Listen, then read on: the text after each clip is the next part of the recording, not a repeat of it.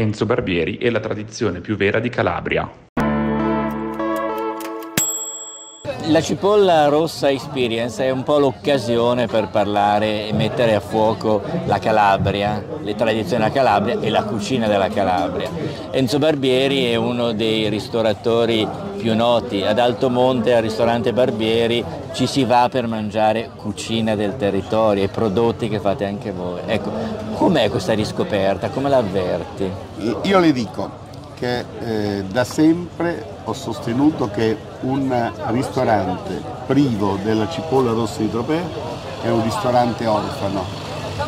Non si può fare cucina senza avere a disposizione un cesto di cipolla rossa di Tropea.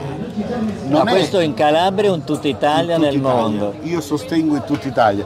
Non è per una questione di campanilismo, perché io ho provato tante cipolle, ho, ho provato le cipolle di Bologna, ho provato la cipolla bianca di Castrovilleri che limitrofa a noi, ho provato tante cipolle. Buona e tipica come la cipolla di Tropea non c'è nulla. Io con la cipolla di Tropea riesco a realizzare ricette uniche, straordinarie, con dei sapori che non trovo in altri. Eh, in altri diciamo che allora la cipolla è il passepartout per fare esatto. una buona cucina. Ecco, ma riguarda la cucina calabrese, qual è il suo stato di salute oggi? C'è effettivamente una riscoperta da parte di tanti altri cuochi? Assolutamente, assolutamente credo che c'è da dire una cosa, che anche aiutati dai nostri enti superiori, dalla regione, che sta facendo finalmente una bella politica a favore della tipicità dei prodotti DOC, IGP, che sono tanti in Calabria, e che sta promuovendo queste, queste belle eccellenze, eh, c'è stata una bella riscoperta. Io mi vanto e sono un po' eh, presuntuoso, dico che sono stato uno dei primi a rilanciare la cucina dei territori, a far capire che la cucina del territorio per i calabresi è una grande opportunità. E parliamo di cucina tra l'altro dell'interno. Cucina, io parlo cucina dell'interno perché io vivo all'interno e ho sempre, ho sempre promosso la cucina dell'interno.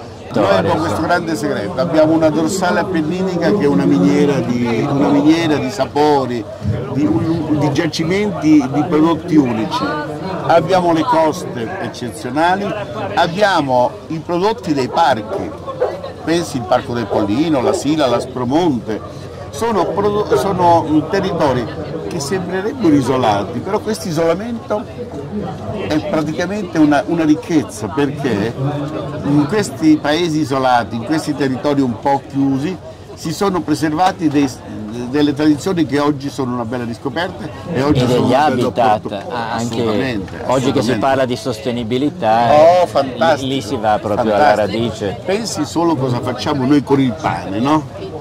io stasera sto presentando un semplicissimo pane di alto monte meraviglioso.